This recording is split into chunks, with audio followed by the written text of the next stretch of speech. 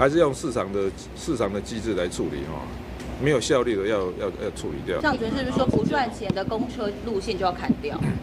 所以这样呢，我们现在推那个一二八零嘛，哦，在上线了。然后另外一个是我们五年内大概，我们大概只有环状线那个中环段哦，年底会完工嘛，大概明年六月会上线。扣掉那个以外嘛，大概五年内不会有捷运线上线。所以，所以我们大概就是因为动动沿线跟万大线都要五年后才通车，所以目前我们就是捷运加公车干线公车啊，这个叫底层。那在这基础上面哦，我要求他们把整个公车路网再再重整一遍，还是用市场的市场的机制来处理哈，没有效率的要要要处理掉。那最后剩下的哈，如果还有需要，那变成需要补贴的，那另外再思考。